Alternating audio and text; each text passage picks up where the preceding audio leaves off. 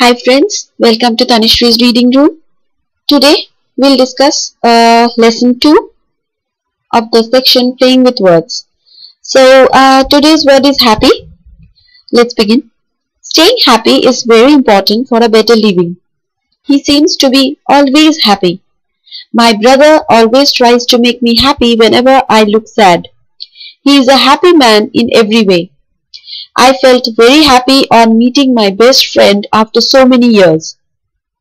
I was extremely happy to see my brother's final results. Feeling happy within is more important than showing happiness.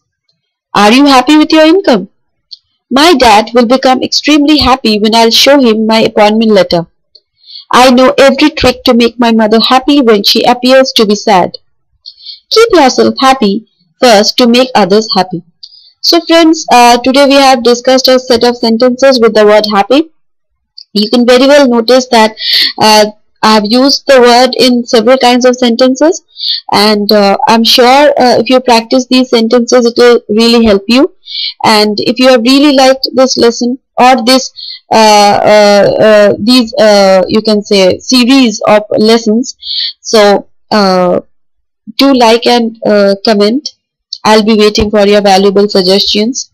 And uh, please, please, please subscribe to Tanusree's Reading Room so that I can keep on uploading new videos and stay in touch with you all. So stay happy, take care of yourself, always try to feel positive and do not forget to subscribe to Tanusree's Reading Room.